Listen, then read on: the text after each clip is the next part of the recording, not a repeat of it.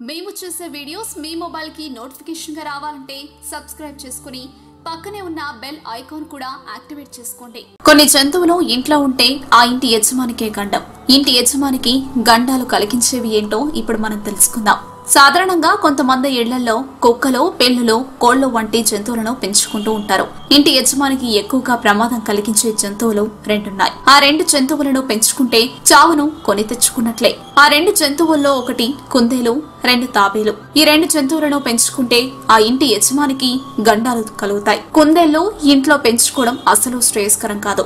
కుందేలు ఏ ఇంట్లో అయితే మూడేళ్ళు ఉంటుందో అప్పుడు ఆ కుందేలు అయినా పోవాలి లేదంటే ఇంటి యజమాని అయినా పోవాలి అనేది పెద్దలు చెప్పే సామెత.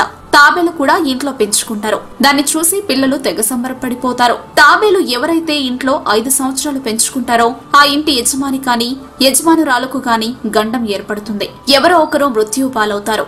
కాబట్టి కుందేలు తాబేలు ఈ రెండు జంతువులు ఇళ్ళలో పెంచుకోకపోవడమే మంచిది.